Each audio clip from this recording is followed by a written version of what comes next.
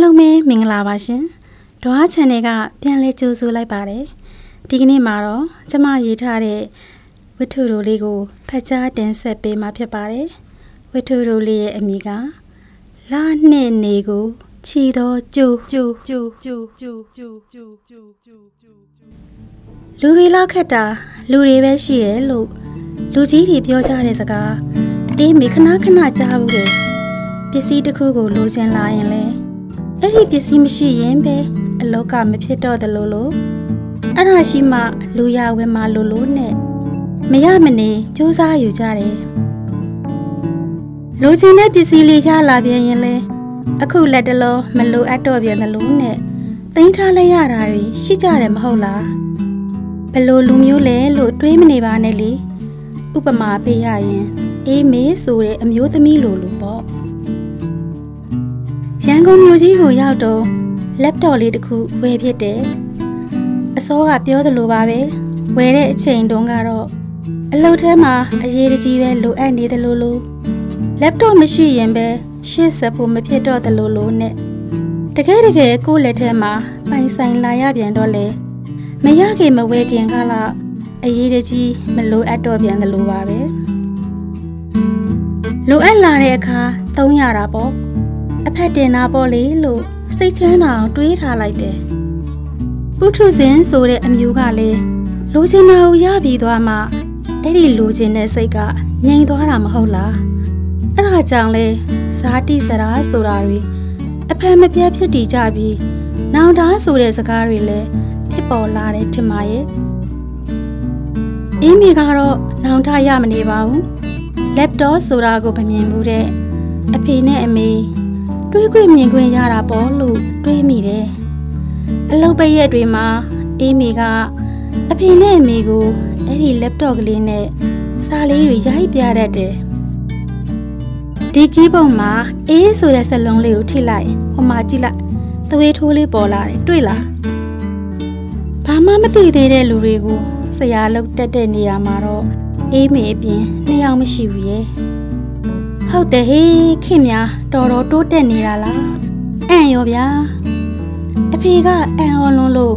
မျက်လုံးတွေမှာအယောင်တလဲလဲတောက်နေတော့တာပါပဲအမေကတော့အဖေထက်ဆိုင်ရင်နှမ်းဆက်ကျင်လဲသူပြီးပြီးမြင်ဘူးကြားဘူးပြီးသားဆိုတော့တိတ်မထူးဆန်းသလိုပဲအမေကအတန်းပညာကိုအထက်တန်းစင်ထီတက်ခဲ့တယ်ဆေးပလင်းတွေကအင်္ဂလိပ်လိုရေးထားတဲ့အညွှန်းစာတွေကို အဖေကမဖတ်တတ်တော့အမေကသူ့နားလေတလောက်ကလေးကိုဆရာမကြီးလိုဖတ်ပြီးရှင်းပြတဲ့အခါအဖေကចောင်းသားကလေးတယောက်လိုမျက်လုံးလေးအဝိုင်းသားနဲ့နားထောင်ပြီးမှတ်နေရတာရှာလားအမေကတော့အဲ့ဒီနေရာမှာအဖေရဲ့ဆရာမကြီးပေါ့อืมဒီနေရာမှာလည်းမဟုတ်ပါဘူးလေအဖေဘဝတလျှောက်လုံးမှာအမေကဆရာမကြီးဖြစ်ခဲ့တာ ပြောရရင်တော့မိသားစုမှာအမေကရှစ်ဆောင်သူအဖေကနောက်လိုက်ကောင်ဖြစ်မယ်ထင်ပါတယ်အဖေကဘယ်လဲခွဲ့ဘလို့လို့ပြောလိုက်တာနဲ့အမေကလေထုံရဲ့ကောက်ဆိုင်ပြိုးနှုတ်ရက်တွေကိုစနစ်တကျအကွက်စေးစေးစီစဉ်ပြီးသားပဲအဖေနဲ့အမေကအဲ့ဒီလိုရှေ့သွားနောက်လိုက်ညီခဲ့ကြတယ်အမေကမြို့အနှံ့ရောင်းဝယ်နဲ့ခြေဆန့်ဘူးသူဘယ်နေရာဘယ်ဒေသကိုရောက်ရောက် မျက်စိမလဲတဲ့သူပါတစ်ခေါက်သွားပြီးရင်အဲ့ဒီနေရာအဲ့ဒီလမ်းကိုနောက်ထပ်မရောက်ဖြစ်တာနှစ်တွေအတော်ကြာတဲ့အထိမမေ့တဲ့သူလည်းဖြစ်တယ်အဖေကတော့ဘယ်ဒေသကိုမှလည်းအထူးဆန်းလုပ်ပြီးသွားလာလက်ပတ်ဖို့စိတ်မဝင်စားပဲသူ့ရဲ့လမ်းမြေတွေထဲမှာပဲတကုတ်ကုန်းနဲ့အလုံးလုံးနေတဲ့သူသူ့ရဲ့စိတ်ကူးနဲ့တနေ့တာအလုတ်စင်တွေအတိုင်းလောက်ကင်ပြီးတဲ့အခါ လက်ဖက်ချောက်ဖန်ဖန်ရင်တွေချမ်းတူထမ်းလျက်တခဲနဲ့ခက်အေးအေးနေတဲ့သူပါအမေကတော့အဖေနဲ့အစားအစာရာရာမှာစန့်ကျင်ပဲလို့ဆိုရမှာပါပဲစိတ်ဓာတ်တွေကအမြဲထက်သန်နေပြီးတခုမဟုတ်တခုကိုစိတ်ကူးကြံတွေးနေတဲ့သူဖြစ်တယ်အဖေကတော့အမေရဲ့ရည်မှန်းချက်အတွေးတွေကိုရာနှုံးပြည့်အကောင်ထဲပေါ်ပေးဖို့အတွက်အမြဲအသင့်ရှိနေတဲ့သူပေါ့ စိတ်ဓာတ်တွေမတူညီကြပေမဲ့ဥတီချက်တွေကထထက်တူကြလေတော့အဖေနဲ့အမေတခါမှရံမဖြစ်ကြစိတ်မကောက်ဘူးကြပါဘူးစီးပွားရေးမှာအမေကညံရှိသလောက်တွေးတောပေးပြီးအဖေကတော့ခွန်အားရှိသလောက်ယုံကန်လို့တဘဝလုံးအပေးယူမျှခဲ့ကြသူတွေပေါ့အမေဆိုးသမျှကိုအ ဖေကသိခံနိုင်တာလဲပါပါရဲ့လေအမေကစိတ်ကူးတဲ့ပေါ်လာသမျှစမ်းသက်ကြည့်ရမှကျင်တဲ့သူအဖေကတော့ဖြစ်ပါမလားဟာဆိုတဲ့တန်တရားတွေကြားကနေပြီးအမေဆန္ဒတွေကိုဖြည့်ဆွမ်းပေးခဲ့ရသူဖြစ်တယ်အမေရဲ့မောင်ဖြစ်တဲ့အေးမေရဲ့ဦးလေးကနိုင်ငံရခြားပညာတော်သင်လေးလာရေးခရီးတွေကိုနိုင်ငံတော်ကဆေလွတ်လို့ သွားရခွင့်ရခဲ့တယ်အေးမေတို့ကရွာမှာတော့ပညာတတ်မျိုးရိုးတွေနိုင်ငံခြားပြန်မျိုးရိုးတွေအဖြစ်ခုံတင်ခဲ့ပါတယ်ဦးလေးအလဲရောက်နေတဲ့ရွာကလေးရဲ့လာတာညတွေမှာအတော်ညစ်တဲ့အထိမအိတ်ကြဘူးရဲ့အလင်းအောင်ဖြာချပြီးရှွန်းဖက်နေတဲ့လာရိတ်အောက်မှာရွာတွေကဦးကြီးပါကြီးဆွေမျိုးတွေတယုံယုံနဲ့အေးမေတို့အိမ်ကြီးက အလူမန်းတက်ကြီးတစ်ခုလိုပါပဲမင်းကြီးကဲတွေရဲနေတဲ့မိဖို့ကြီးကို အမြဲပို့ထားပြီးရင်မီးဦးကမပြတ်တဲ့ဆက်တည်ထားရတယ်။ဦးလေးပါလာတဲ့ငရမ်းကြောက်ပြားကြီးတွေကိုဖုတ်လိုက်ကင်လိုက်နဲ့နှဲစီမွေးတွေရွှဲရွှဲဆန်းလို့ဦးလေးတို့စကားပိုင်းကရွှေမုံကျဲထားတဲ့ညကလေးထဲမှာအရသာနဲ့ရတာတွေရောရှက်ပေါင်းစုံနေတော့တယ်။ ဦးလေးကနိုင်ငံတကာအတွေ့အကြုံတွေကိုစေရနာပါပါဟန်ပါပါနဲ့များပြောပြနေရင်နားထောင်နေကြတဲ့ပရိသတ်ကြီးကပါဇက်အဟောင်းသားနဲ့အံ့ဩတကြီးဖြစ်လို့ပေါ့အဲ့ဒီအချိန်ကတရွာလုံးမှာဦးလေးစီးလာတဲ့စူပါကတ်ဆိုင်ကယ်လေးတစ်စီးပဲရှိတာကလားရွာကဦးကြီးတွေကအဲ့ဒီဆိုင်ကယ်လေးကိုမရဲတရဲထိကြည့်တို့ကြည့်ကြနဲ့အ န်အိုးရောနှီးတစ်ချက်မှကိုမပါဘူးဗျာဆိုတဲ့ခစ်ပေါ့နိုင်ငံသားတွေမှာအဲ့ဒီခေးကလေးကစုပေါင်းလျာတွေလောက်ကင်နေကြပြီးချုံငိမ့်တဲ့အသီးအပွင့်တွေဆွယူစားသုံးနေကြတာကိုလေ့လာတွေ့ရှိခဲ့ရတဲ့ဦးလေးကကိုယ်စာတီနေမှာလဲအဲ့ဒီလိုစုပေါင်းလျာတွေလှုပ်စေခြင်းနဲ့ရလာတဲ့အကျိုးအမြတ်တွေကို အတူခံစားကြရင်စီလုံးမှုတွေလည်းရှိလာမယ် အတူပူပေါင်းဆောင်ရွက်လိုတဲ့စိတ်တွေလည်းဖြစ်လာမယ်လို့တွေးတယ်ဦးလေးကကိုရွာကိုနယ်မြေကိုတိုးတက်စေခြင်းနဲ့အချိန်မရလို့ကိုယ်တိုင်ဦးမဆောင်နိုင်ပေမဲ့ဖြစ်စေခြင်းနဲ့လမ်းကောင်းကိုညွှန်ပြတတ်သူပါဦးလေးပြောသမျှတွေကိုအေးမေရဲ့အမေကအဖြစ်ဆိုတဲ့တန်တိထန်စိတ်နဲ့နားထောင်ပြီးအဖေကတော့ဖြစ်ပါမလားဟာဆိုတဲ့ဒွိခစိတ်နဲ့နားထောင်တယ်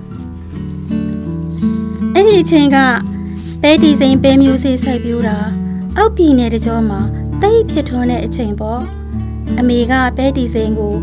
ဦးလေးပြောသလိုစူပေါင်းလျာသဘောမျိုးလှုပ်ချင်တယ်ဒါပေမဲ့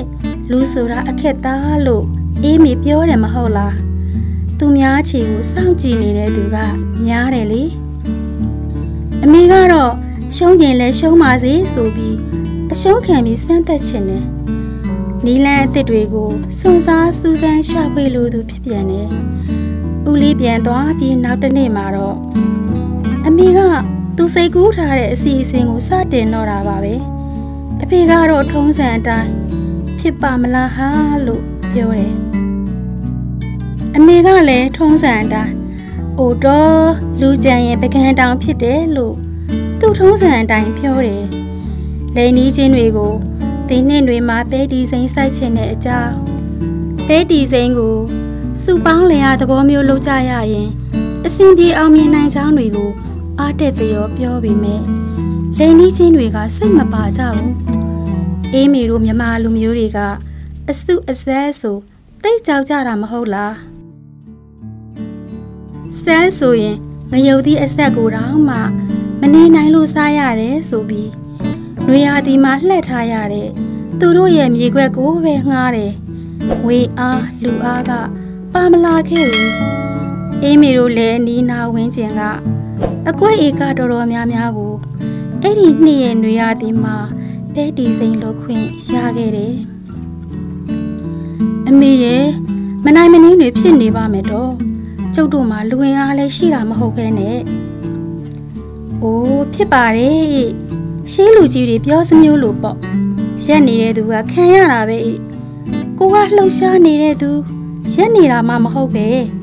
နှွေခါကိုရမိုးဦးကြသူများလဲဆိုတယ်လို့ပေါ့အမေရှိကပြေးသလားအေးမေတို့သားဖမမီမကန်းနဲ့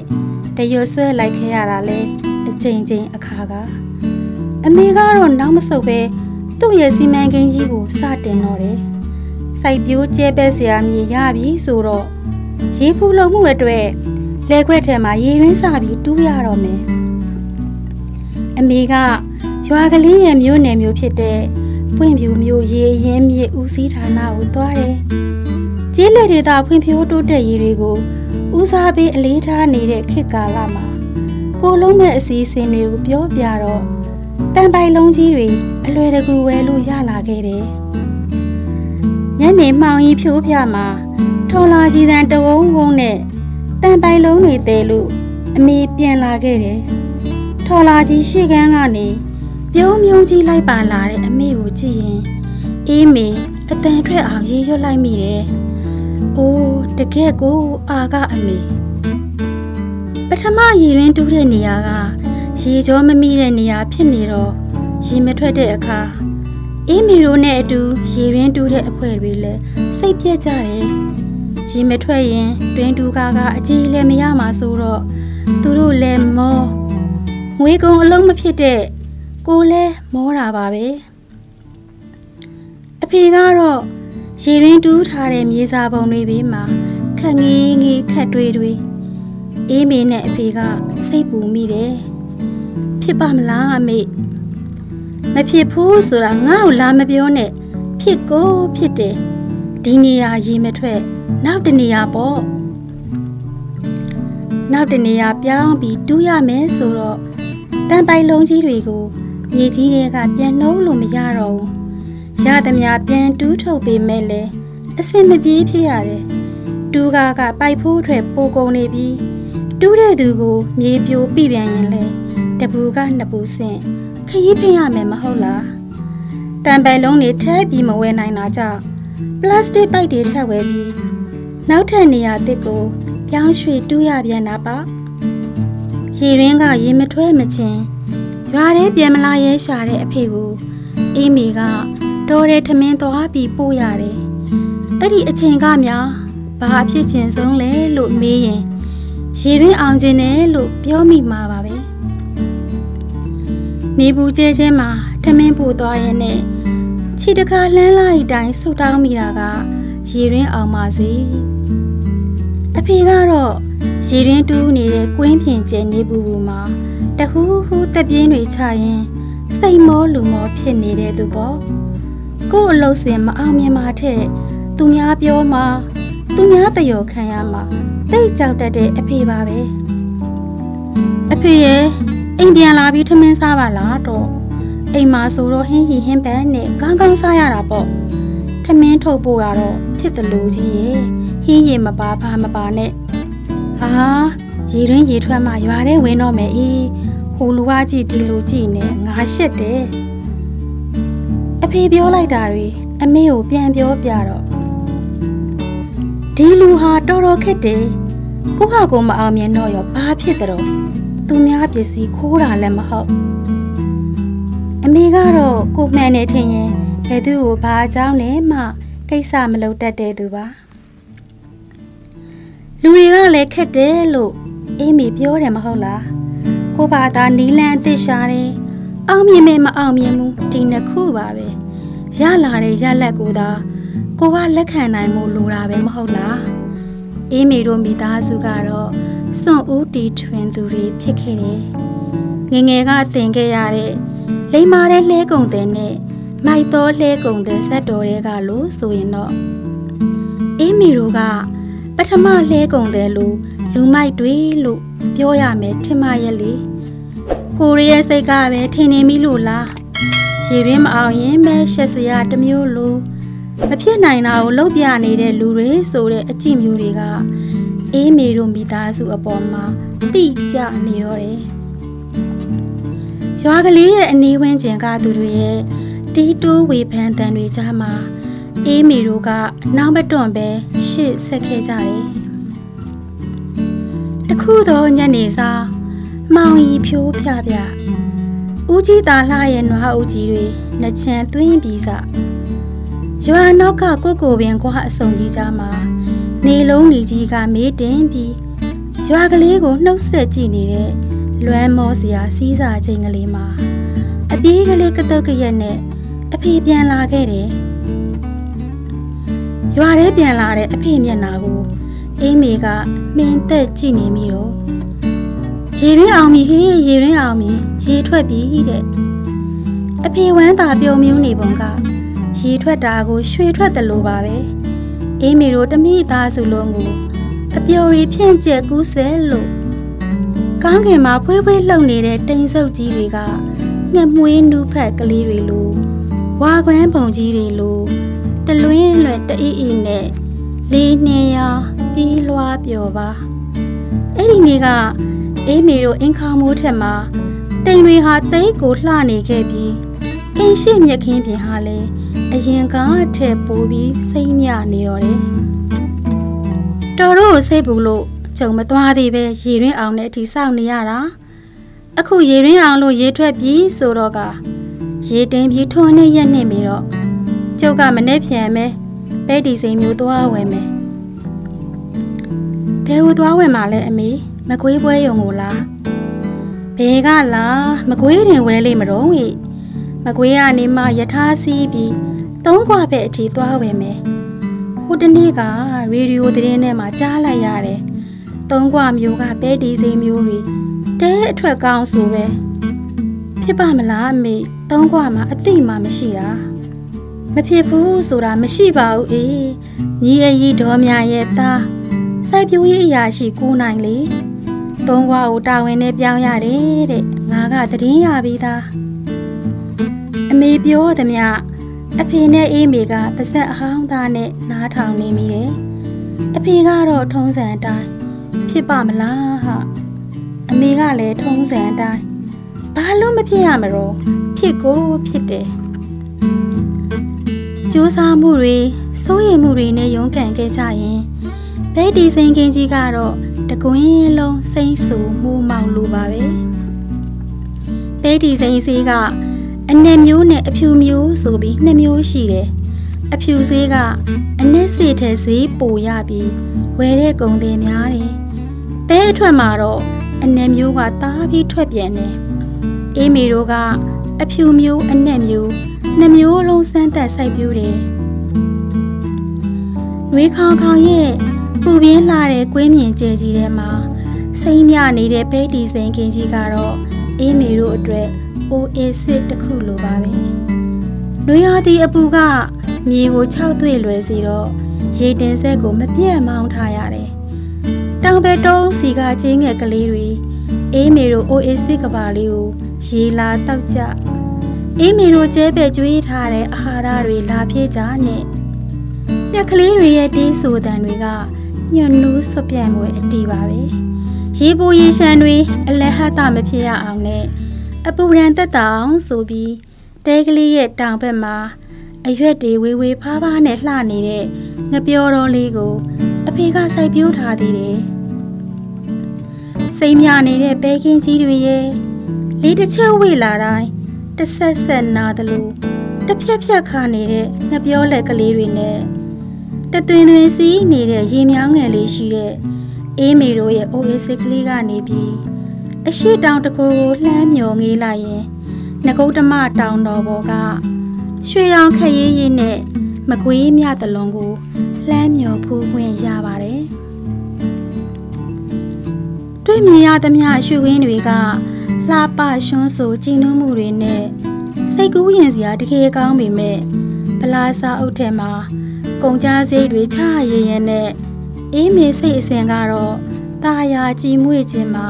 မလွင့်လူနိုင်ခဲ့ပြန်ပါဘူးဝင်ငွေရောက်မလာသေးချိန်မှာထွက်ငွေကိုသာတွက်နေရင်နဲ့ဖြစ်ပါမလားအမေရဲ့လို့တီးတိုးရေရွံ့မိတယ်လက်ချောင်းကလေးတွေကိုစူးပြီးထောင်ထားသလိုပဲတီစိမ့်တော့စိမ့်နုနုကလေးတွေကလေရလာမှာရင်းနဲ့လှုပ်ခါကြရင်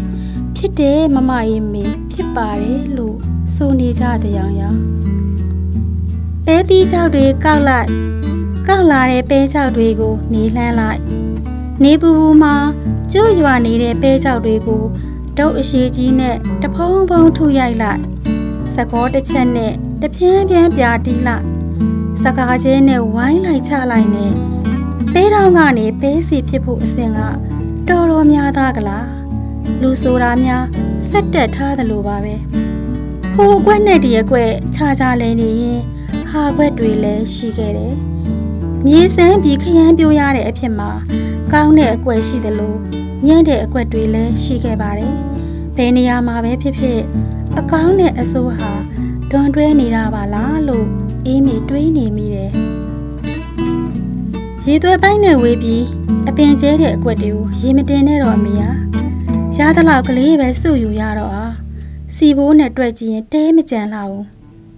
နောက်မတွန်ဆန်းပါနဲ့ဤ တကောင်ထက်တော့ညင်မနဲ့ပါဘူးအပင်ကျဲတော့အသီးအားတာတာပေါ့ဒီအတွေ့အကြုံကပညာပဲနောက်လုပ်ချင်တဲ့သူတွေအတွက်လည်းနမူနာယူရတာပေါ့ဒုတိယလဲကုံတဲ့ကပထမလဲကုံတဲ့ကိုကျေးဇူးတင်ပါတယ်လို့ပြောတာလဲမဖက်ဘူးပါလားအမေရဲ့လို့တီတူညီးမိတယ်တကယ်တမ်းထုတ်ပြောလိုက်ပါလေအမေမှာပြန်ချေပဖို့စင်ကြီးတွေကရှိပြီးသားဖြစ်မယ်ထင်ပါတယ်အ ဖေအေးမေတို့ဘလို့ဆက်လုပ်ကြမှာတော့ညီအမေသဘောအတိုင်းပေါ့အေးထုံးစံအတိုင်းအဖေကတော့အမေရှိကိုဘယ်တော့မှမကြော်ခဲ့အမေရဲ့ရည်မှန်းချက်တွေကိုယာနှုံးပြအကောင့်ထဲပေါ်ပေးဖို့အသင်ရှိနေသူတယောက်ဖြစ်ပြီးတိုးတက်မှုနှုန်းကတော့အမေနဲ့သာဓာတ်ရိုက်သက်ဆိုင်ခဲ့တယ်။ပဲဒီစိန်ကအရင်မရှုံးပေမဲ့ထင်သလောက်တော့အမျက်မရခဲ့ပါဘူး။အမျက်ငွေထက် တန်ဖိုးမဖြတ်နိုင်တဲ့အတွေ့အကြုံတွေရခဲ့တယ်။နောက်မဆုတ်လို့တဲ့စိတ်သက်ခွန်အားတွေရခဲ့တယ်။တကယ်လို့ရင်တကယ်ဖြစ်တာပဲဆိုတာကိုအေးမီတို့မိသားစုကတရွာလုံးမှာစံအဖြစ်ပြသနိုင်ခဲ့တယ်။လောက်တဲ့ရင်အမျက်ကြမ်းပါတယ်ဆိုတာချပြတော့နောက်နေ့အတွက်စိတ်ဝင်စားကြတယ်။နောက်နေ့တွေမှာတော့ဘဲဒီစိန်ကိုတရွာလုံးနှီးပါလှုပ်လာကြတယ်။အလှမ်းကျအလဲလက်မဖြစ်ရအောင်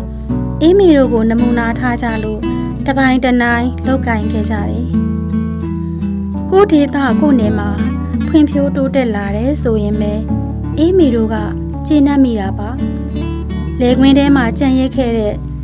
လက်နှိပ်တုံကင်ရည်ရင်းကလေးကတော့နွားချောင်းသားတွေခရီးသွားတွေအလိုရှိလို့သူ့ဆက်ကျူးကိုဆွဲလိုက်တိုင်းခေါင်းတငိမ့်ငိမ့်နဲ့ရေတွေတလဟောထွက်ကြပေးနေတာမြင်ရတော့ပ င်ပန်းသမျှတွေကိုရေလိုကြည်လင်းတဲ့မေတ္တာတရားတွေကလန်းဆန်းစေပြန်ပါတယ်။ကံတရားကအေးမီတို့မိသားစုကိုမြို့ကလေးမှာအခြေချဖို့မျက်နှာသာပေးလာတဲ့အခါ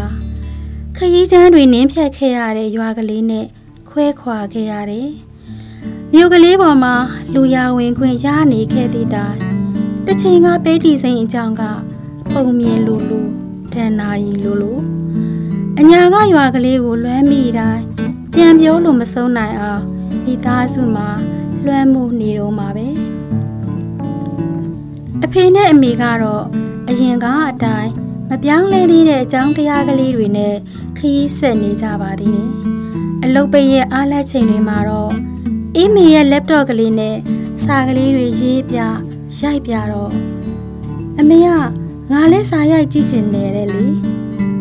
ဖြစ်ပါမလားဟာ။အိုးဘာလို့မဖြစ်ရမလဲတော့။အမေကစာကိုတလုံးချင်းရရင် laptop ကလေးနဲ့ရင်းနှီးလာခဲ့တယ်။အဖေကတော့ခါးညောင်းမခံနိုင်သူမို့သူ့အလုပ်ဆင်တွေပြီးတာနဲ့အိပ်ရတယ်ကြောဆက်နေတတ်တယ်။အမေကခင်မေသူပြီးပြီးဖုံးတစ်လုံးနဲ့လည်းဂိမ်းစော်နေတတ်တယ်။ချက်လွန်းချက်လွန်းနဲ့ရောင်စုံဘောလုံးကလေးတွေပြစ်နေရင် အဖေကအမေကိုပြုံးပြုံးကြီးကြည့်နေတတ်တယ်။အမေလက်တော်လေးနဲ့ဂိမ်းစော်ပါလား။အဖေကဖြစ်ပါမလားဟာအမေကအော်ဘာလို့မဖြစ်ရမလဲဖြစ်ကိုဖြစ်တယ်တင်ယူစရာတွေကိုမြင်ယုံနဲ့သိလွယ်တက်လွယ်တာကလည်းအမေပါရမီတူပါပဲမိနစ်ပိုင်းလောက်မှာပဲအမေကကွန်ပျူတာမောက်စ်ကိုကင်နာကျွမ်းကျင်သွားတယ် နောက်တနေ့တွေမှာတော့ဟာနောက်ဆုံးတစ်လုံးကြာမှာကွာဟာအချိန်နဲ့နဲ့လိုသွားတယ်ကွာဖြစ်ကိုဖြစ်ရမယ်လို့ဇွဲကြီးလှတဲ့အမေရဲ့တချွင်ချွင်တစ်ချက်ချက်နဲ့ဂိမ်းကွက်တွေအောက်မှာအဖေခမရတော့နေ့စဉ်ရက်ဆက်အိမ်ရေးတွေပြည့်နေရပါတော့တယ်အိမ်မပြောရတဲ့အထက်ဟာမဖြစ်ရင်လဲနောက်နေ့တွေမှာစိုက်ကစားပါတော့ ဟိုးဘာလို့မဖြစ်ရမလို့ဖြစ်ကိုဖြစ်တယ်နောက်ဆုံးအဆင့်ရောက်နေပြီအမေကနောက်ဆုံးအဆင့်ကိုကြော်နိုင်မှုစူးစမ်းနေချိန်တိုင်းအဖေကတော့တချွင်ညွင်တချွက်ချွက်အတန်နေကြမျက်စိမိတ်ပြီးအိတ်နိုင်ဖို့စူးစမ်းနေရရှာတယ်အတန်လေးတိုးပါအောင်ဟာလို့အဖေကတောင်းပန်တယ်လို့ပြောတိုင်း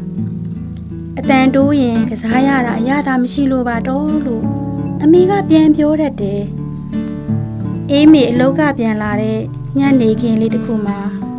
အဖေကမိဖို့ထဲမှာတယောက်တည်းငူငူကြီးထိုင်နေပြီးအမေကအိမ်ရှိရထိုင်ကုန်မှာတယောက်တည်းငင်းငင်းကြီးထိုင်လို့ဘာဖြစ်ကြတာပါလဲတခါမှလည်းရမ်းမဖြစ်ဘူးပါဘူးဘာပါလဲလို့အေးမေတွေးရင်အကဲခက်ကြည့်နေမိတယ်ပြောလိုက်အောင်လေ ပြောချင်ပါဦးတော့ပါသာပြောပေါ့ဘာဖြစ်တာလဲအမေတို့ဘာတွေဖြစ်နေကြတာလဲအဲ့ဒီဟာကြီးကတိတ်မရဖွင့်မရဖြစ်သွားပြီနင့်အမေပေါ့အမေက laptop ကိုသွားထိကြည့်တော့ပူချစ်နေတော့တယ်ဖွင့်ကြည့်တော့လည်းမရပိတ်ကြည့်တော့လည်းမရဘာဖြစ်သွားတာလဲနင့်အမေပေါ့အော်တော့ကြောင်မှာကျုပ်ဟာကျုပ်ဂိမ်းစော့နေတာကိုတော်ပဲကျုပ်ရဲ့ကြွက်ကိုဖတ်ထားတာလေ ဖတ်ထားမှာပေါ့ဟာနင်ကတချွတ်ချွတ်နဲ့နားမှာမနာပဲဒီလောက်တောင်ပြဇွဲကကောင်းမယ်ကောင်းလုံးအဲ့ဒါကြောင့်တော့ကြောင်လို့ပြောတာပေါ့ကြွက်မရှိတော့ဒီတို့ဟာထိရတဲ့ဟာကြီးနဲ့ဟိုပုတ်ဒီဆွဲကစားနေရတာကျုံမှာတခုအစင်မပြေတိုင်းပိတ်လိုက်ရပိတ်လို့မရတော့နောက်တစ်ခုဖွင့်လိုက်နဲ့ဘာမှကိုလုံမရတော့တာတကယ်တော့နောက်ဆုံးပွဲစဉ်မှာဆိုမှဒီအဆင့်ရအောင် ကျုပ်ဘလောက်စူးစမ်းခဲ့ရတယ်လဲသိလားအမေကအဖေကိုနှကန်းကြီးတဆူဆူရန်တွေတွေ့နေတော့အဖေကဂိမ်းမစော်ရလို့စိတ်ကောက်ပြီးပြဿနာရှာနေတဲ့ကလေးစိုးကိုကြည့်နေတယ်လို့အမေကိုကြည့်နေရှာတယ်အေးမေသဘောပေါက်ပြီးပြုံးလိုက်မိတယ်အမေက mouse ကိုကျွဲလို့ပြောတယ်ဒါကို mouse လို့ခေါ်တယ်လို့ကွန်ပျူတာသင်ပေးတဲ့နေ့မှာပြောတော့ အင်္ဂလိပ်စာနည်းနည်းပါးပါးတတ်တဲ့အမေကဒါဆိုကြွက်ပေါ်လို့ပြောတယ်အတွေးကောင်းတဲ့အမေကကွန်ပျူတာနဲ့ကြွက်ဘလို့ဆက်ဆက်တယ်လဲတွေးများတွေးနေမိသေးလားမသိနိုင်ဆွဲကြီးတဲ့အမေကဖြစ်ကိုဖြစ်ရမယ်ဆိုတဲ့စိတ်နဲ့ထမင်းစားချိန်မှာတာအဖေနဲ့ထမင်းတူမစားနိုင်ပဲဂိမ်းကစားနေတတ်တယ်အမေကိုပြောလို့မရတော့တဲ့အခါအဖေကအမေရဲ့ကြွက်ကိုဖွက်ထားလိုက်မယ် ရိုးလွန်းတဲ့အဖေကအမေကစားတဲ့အခါအရေးပါတဲ့အသက်ကကျွတ်ဆိုတာသိနေပြီသားပဲလို့တွေးရင်အေးမေပြုံးလိုက်မိတယ်ဖွင့်မရပိတ်မရနဲ့ဘာဖြစ်သွားမှန်းလဲနားမလဲတဲ့အေးမီက laptop လေးကိုအိတ်ထဲထည့်ပြီးကွန်ပျူတာပြန်ဆိုင်ပြေးခဲ့ရတာကိုတတိယမိတယ်အဲ့ဒီကလေးကမသုံးပြခဲ့တဲ့ laptop လေးကိုအခုပြန်ထုတ်ပြီးသုံးကြည့်တဲ့အခါ အဆင်မပြေဖြစ်ရပြန်တယ်မသုံးမဲထားတာကြာရင်လေဒီလိုပဲဖြစ်တတ်တယ်အမလို့ဆိုင်ကပြောတော့ဒီလိုသာဆိုခဲ့ရကြီးရဲ့ကွယ်ဒါဖြင့်ပြင်ရင်ဘလောက်ကုန်မလဲအမရဲ့ဆက်က hard disk လေးရမှာအမ 500GB ပဲပြန်ထည့်ရင်တော့6000ခွဲလောက်ကုန်မယ်ဘလို့6000ခွဲလောက်ဟုတ်လားဘာမှမသုံးရပါပဲအိတ်ထဲမှာတယူသေးသေးသိမ့်ထားတာကို ပြင်ရအောင်မယ်ဆိုတော့အေးမီနှမျောနေမိတယ်လာကုံကနေပြီဆိုတော့လေပတ်စံအိတ်ကလေးတွေကလက်ကျန်ပတ်စံလေးကိုစိတ်နဲ့မှန်းစာတွက်ကြည့်နေရင်ဖြစ်ပါမလားဟိုးဘာလို့မဖြစ်ရမှာလဲဖြစ်ကိုဖြစ်တယ်ကွန်ပျူတာပြင်ဆိုင်ကန်းလေးရဲ့စပွဲပေါ်က laptop လေးကိုကြည့်နေမိရင်တစ်ချိန်ကမမေ့နိုင်စရာအဖြစ်ကလေးကိုတတိယနေမိတယ် laptop လေးနဲ့ဂိမ်းကစားခြင်းတယ်လို့အမေဘယ်တော့မှပြောတော့မှမဟုတ်သလိုဂိမ်းကစားနေသည်ထားအောင်အမေရဲ့တချွင်းချွင်းဂိမ်းကစားတန်ကိုဘယ်အခါများမှမကြားနိုင်တော့အောင်အဖေကဘဝတစ်ခုချသွားခဲ့တယ်တူးလို့အတန်မပေးပါပဲမြည်သည့်ဘဝတွင် အဖေပုံးခိုနေလေသည် မသိနိုင်တော့အမေကတော့ အဖေဘယ်နေရာမှာများရှိနေပါလဲလို့အဖေရှိနိုင်မဲ့နေရာကိုဇွဲကြီးကြီးနဲ့မှန်းဆကြည့်နေရင်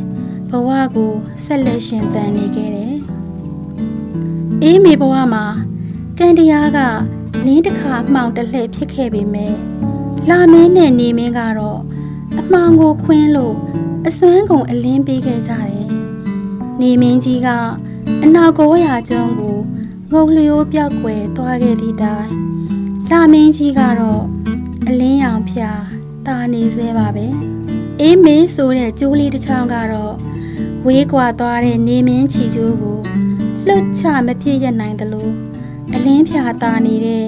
လာမင်းချီကျိုးကိုလည်းလွတ်ထွက်မသွားနိုင်အောင်တင်းကျပ်မြေခိုင်စွာနှောင်တွေလျက်ရှိနေပါတော့တယ်သောတာရှင်များအားလုံး ကောင်းကျိုးလိုရာဆန္ဒပြေဝကြပါစေရှင်